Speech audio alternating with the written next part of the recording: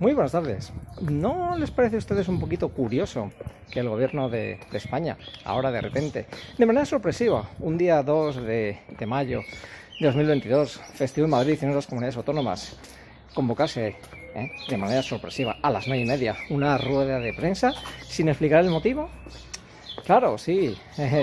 luego, efectivamente, ellos dieron las razones por las cuales convocaban la famosa rueda, rueda de prensa.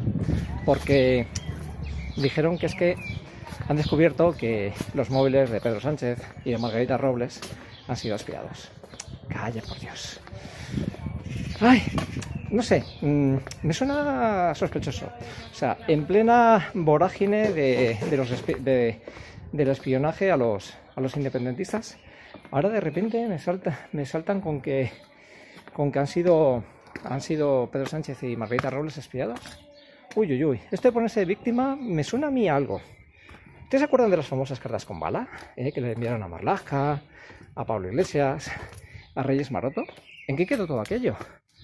¿Eh? ¿Se acuerdan ustedes en qué quedó aquello? Pues no, quedó en nada. Porque la investigación ahí se perdió, se perdió por ahí, por los despachos. No ha habido nada. La justicia dio carpetazo y aquí parece ser que nadie, nadie ha tenido el más mínimo interés en, seguir sabiendo la verdad. Pues esto me suena exactamente a tres cuartas partes de lo mismo.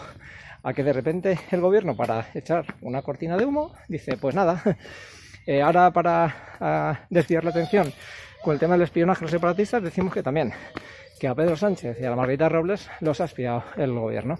Y así, además, eh, con premeditación, madrugosidad y, y alevosía. Y luego pretenden que nos, que nos lo creamos.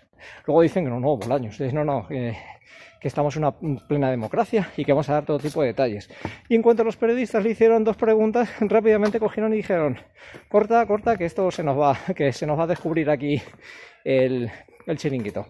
Así que, sinceramente, que, que les diga, no me creo ni una sola palabra del señor Bolaños, ni me creo nada del espionaje a Pedro Sánchez. Insisto, esto me huele como lo de las balas a Marlasca y a Pablo Iglesias que nunca, nunca, nunca se supo realmente quién estaba detrás de esto y sobre todo cómo se, admitió ese tipo de documentación, ese tipo de envío, se admitió en correos, cuando está más que, más que constatado que correos no admite ese tipo de envíos y tiene muchos sistemas para detectarlo antes de que lleguen al interesado.